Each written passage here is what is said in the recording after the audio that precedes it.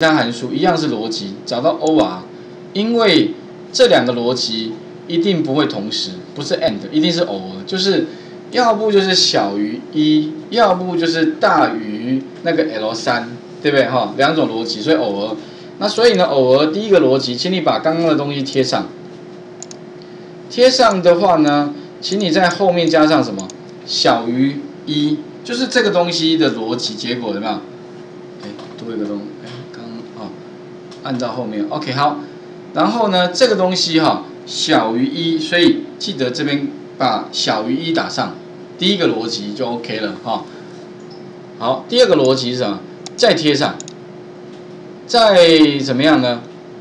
再大于大于 L 三，好，所以大于一个是小于，然后大于 L 三，L 三点一下，啊，记得把 L 三怎么样锁起来，嗯，这样两个逻辑吧哈，一个两个不够哈，这个公式因为这么一长串，记得 check 要让它贴上是吧？然后。OK，应该没问题。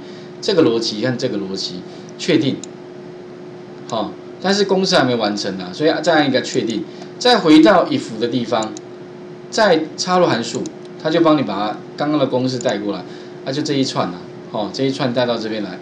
啊，如果里面的为 true 的话，就是这其中一个是小于一或大于 L 三的话，请你输出什么？没有东西，没有东西的话，那就什么？空字串啊，记得应该还有前面有用过吧？哈，没有东西。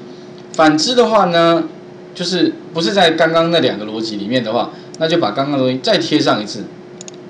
OK，等于是说哈，会有贴上三次。我觉得这个方法是比较简单的，反正你以后就贴贴贴嘛，贴上给一个逻辑小一，给一个逻辑大于 L 三，然后呢，如果两个其中为 true 的时候。那就双赢，哎，就是没有东西。反之就是把它再输出就对了。OK，按确定。好，确定完之后的话呢，我们来看一下，基本上哈，负的应该就会空白掉了，就没东西了。哎，有没有？再往下，然后三十一天以后的，哎，全部不见了。这个时候的话哈，我们来看一下哦。如果是十一月份的话，哎，没错，三十天这边会变动嘛？所以这边的话，因为我我的逻辑是根据这边 L 三而来的，好，也根据什么？根据 L 四，所以最关键的地方哈，其实还是 L 四跟 L 三，有没有？这两个，这一定要正确。如果这两个数字里面是